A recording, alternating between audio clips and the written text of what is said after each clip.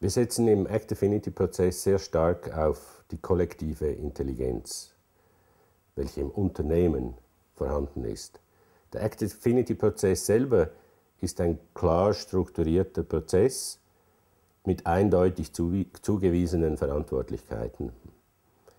Und da gibt es in der ersten Phase die Definition der strategischen Absicht durch das strategiegebende Gremium. Das ist richtig so. Das sind die Leute, die letztendlich das Schicksal der Firma verantworten, die in ihrem Kreise sagen, wohin soll die Firma gehen, was soll die Firma kurz-, mittel-, langfristig werden. In der zweiten Phase und in der dritten Phase allerdings, da sind andere Leute Experten. Da sind's nicht mehr, ist es nicht mehr das Top-Management, sondern da sind die Leute, die heute im Betrieb drinstecken und all diese feinen Sensoren haben und dieses Wissen aus der Operation, wo man stark ist, wo man schwach ist. Das sind die Leute, die nun verstehen müssen, was die strategische Absicht ist und in dem Sinn ihre persönlichen Kraftvektoren auf diese Strategie auszurichten haben. Aber es sind gleichzeitig die Leute, die dann, wenn um einen Tisch versammelt, das Maximum an Praxiswissen, praktischem Wissen zur Umsetzung, zur Umsetzungsmöglichkeit und zu den Umsetzungsfähigkeiten des Unternehmens vereinen.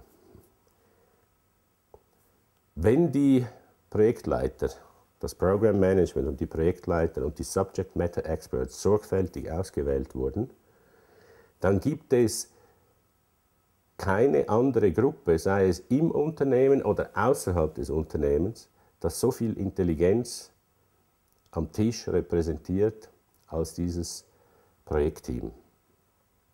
Program Management und die unterschiedlichen Projektteams. Und das gilt es zu respektieren.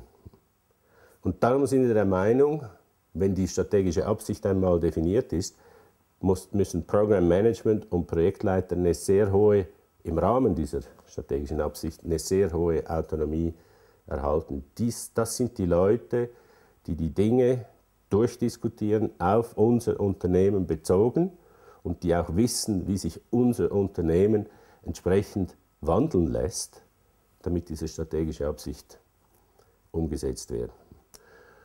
Und das ist eine klare Absage an Strategien, Umsetzungsstrategien, die von außen kommen.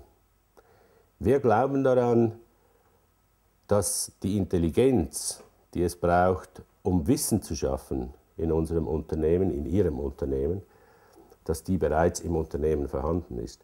Und wir sehen uns lediglich als Partner im Prozess, die helfen, diese Intelligenz auf den Tisch zu bringen und aus ihr Wissen zu machen, kollektives Wissen.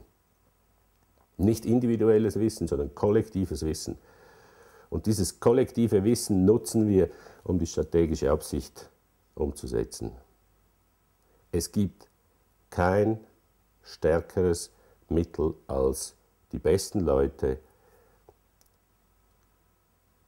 in ihrer Intelligenz gefordert, an einem Tisch zu vereinen, den Wandel zu planen und die gleichen Leute dann in der Umsetzung mit der Umsetzung zu beauftragen.